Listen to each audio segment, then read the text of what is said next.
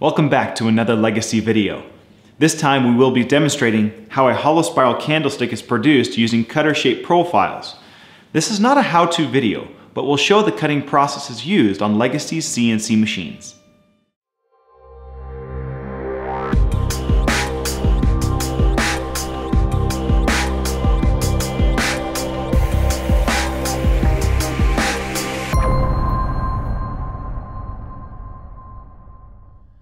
This project has three turned components, the top, the middle, and the bottom.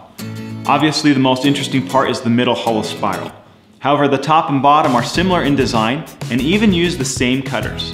Each part was programmed using Legacy's exclusive conversational cam turning software. Let's begin with the top and bottom components. Both blanks are turned round with a inch and a quarter surfacing cutter.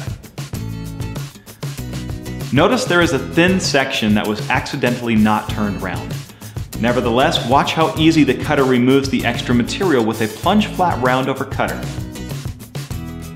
This cutter shape is used to turn radii and beaded profiles. After a few radii are turned, a 2 inch diameter barley twist profile shapes the main body of the top and bottom components. Last, a 3 quarter inch core box cutter turns a contour radius on the ends. Now let's jump to the fun part, turning the hollow spiral section. Just like the top and bottom components, the blank is turned round. Afterwards, the same 2-inch barley twist cutter that was used previously is also used to turn two cutter profiles on either end. The same cutter then produces a 3-start barley twist between the two profile cuts.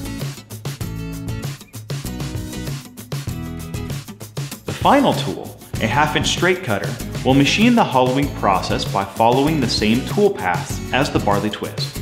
This was programmed to take an eighth of an inch per pass until it reached the center of the blank. To finish this component, 1 inch diameter round tenons are turned on both ends of the hollow spiral.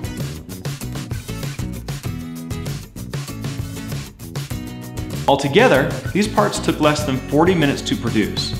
You can see how powerful cutter profiles can be especially when combined with Legacy's exclusive conversational cam turning software. If you would like to participate in live training webinars that teach how projects like these are designed and programmed, you can sign up for Legacy's four-week guest pass by clicking up here. If you would like to unleash your woodworking and money-making capabilities, you can visit our website to learn more about Legacy's CNC machines by clicking right over here. To learn more about Legacy Woodworking Machinery, the company, Watch the Legacy Story video by clicking down there. Press that subscribe button to stay informed on new videos like these. And as always, thanks for watching, and we'll see you in the next video.